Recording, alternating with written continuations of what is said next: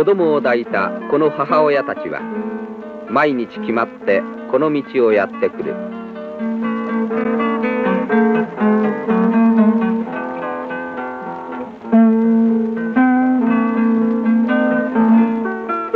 出勤前の母親たちは我が子を保育所に預けてそれぞれ自分の職場へ向かう。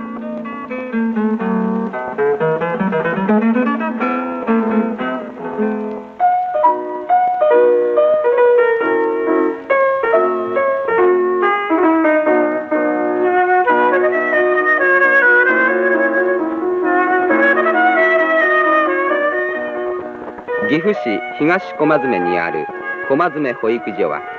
生後6ヶ月の赤ちゃんから3歳までの乳児50人が13人の保母と朝の8時半から午後4時半まで一緒に過ごす毎日を送っている。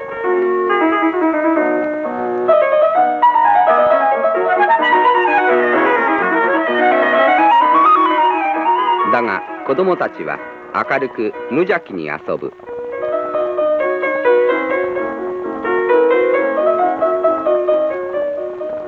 1歳から2歳までの乳児保育は保母さん1人が6人の子どもたちを受け持つ忙しさ。保母さんたちは片時も子どもたちから目を離すことができない毎日です。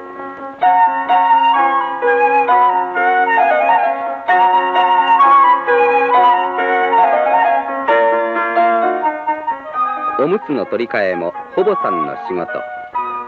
ここでは母親以上の愛情が要求されます。そんな彼女たちを支えているのは子供たち一人一人の成長していく姿だという。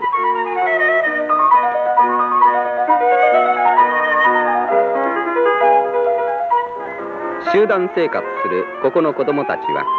普通の子供よりも自立性が早いと言われ自分でおしっこすることもできるようになった。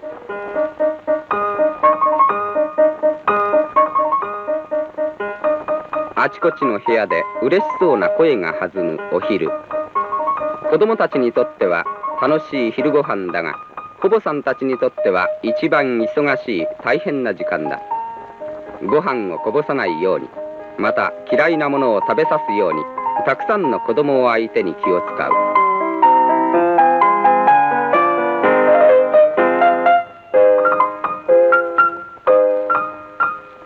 こちらの子供からあちらの子供へ。保母さんは次々に回っていく。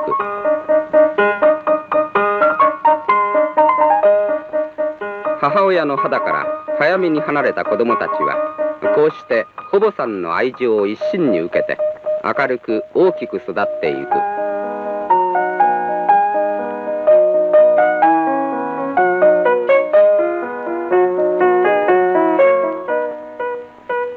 食事が終わると今度は昼寝の時間だ。着替えをさせる彼女たちは言う。初めてここにやってきた当時は一人では何もできなかった子供が自分の身の回りのことを私たちの手を借りずにやれるようになった時は我が子のことのように嬉しいと。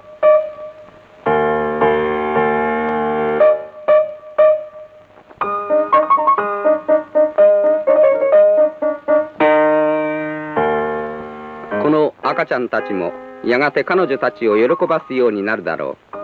う。その日の来るのを頭に描く保母さんたちの優しい眼差しがこの子らに注がれるのだ。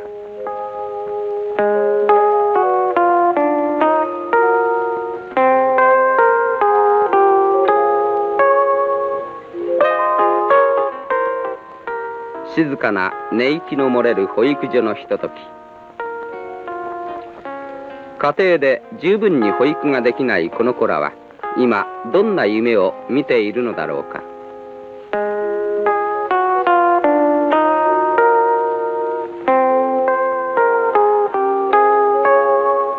この子の夢は勤め先で働く母親の姿であろうか。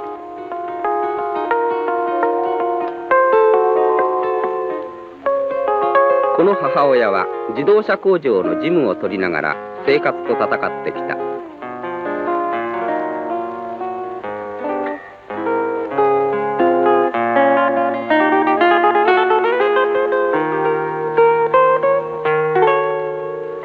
そしてまた繊維問屋の社内食堂で働くこの母親は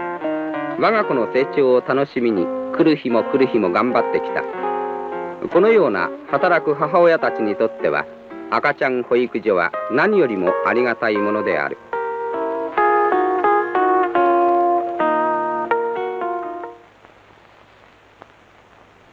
しかし母親が外に出て働くということの中には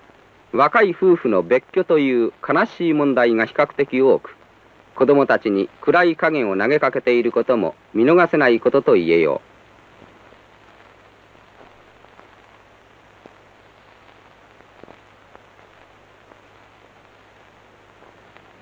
子供はやはり母親の肌のぬくもりの中で育てられるのが一番幸せなのだ。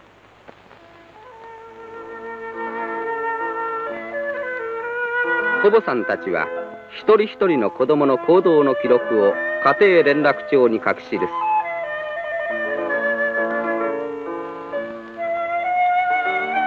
健康のこと食事のこと便所に行った回数などその日の子供の状態を詳しく母親に伝え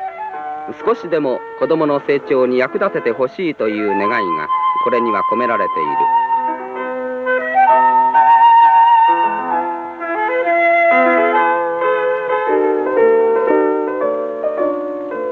保育所の庭で遊ぶ自由時間は一番楽しい時だそしてまた自分たちの個性をちょっぴり覗かせる時でもある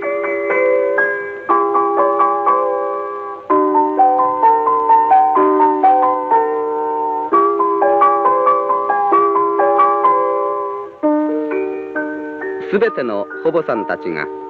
母親に代わる愛情を示し子供たちの健やかな成長を願う赤ちゃん保育所には健康的な笑い声が絶えない。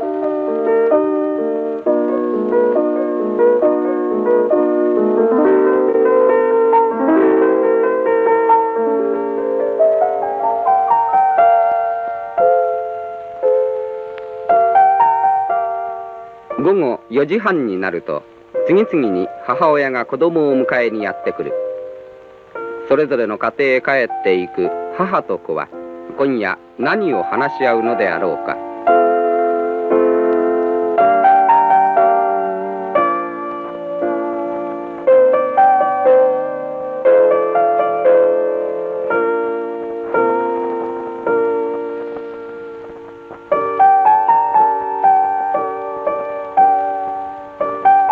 4時半まで母親が迎えに来ない子には延長保育が行われている。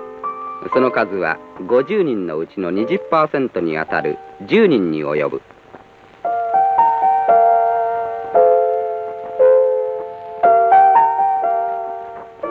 やっと母親が迎えにやってきて最後の子供も帰っていった。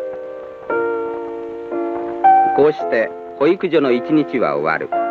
あのあどけない元気な笑顔が見える明日の朝まで。赤ちゃん保育所は深い眠りに入る。